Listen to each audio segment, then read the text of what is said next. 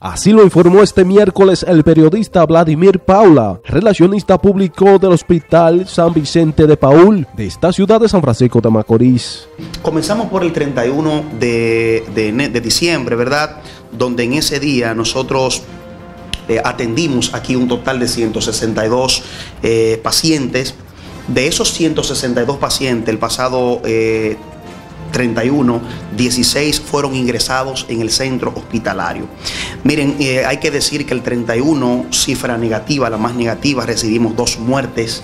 Eh, aquí en el San Vicente de Paul, entre ellas una por accidente de tránsito, eh, golpes contundentes que recibió esa persona en la cabeza y la otra por una herida de bala en la cabeza, un hecho que ocurrió en el sector de Vistalvalle, aquí en San Francisco de Macorís. Dos muertes el pasado 31. Intoxicado, el pasado 31 recibimos 20 casos de intoxicados y 34 eh, por accidentes de tránsito.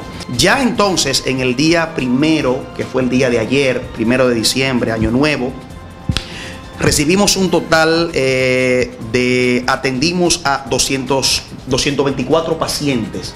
De esos 224 pacientes hay que decir que fueron ingresados un total de 21, donde hubo cero muertes, gracias a Dios, en el día de ayer. 15 intoxicados, 15 intoxicados, cero heridos de bala y 26 accidentes por eh, politraumatizados ya. NTN su noticiero regional, Robinson Polanco.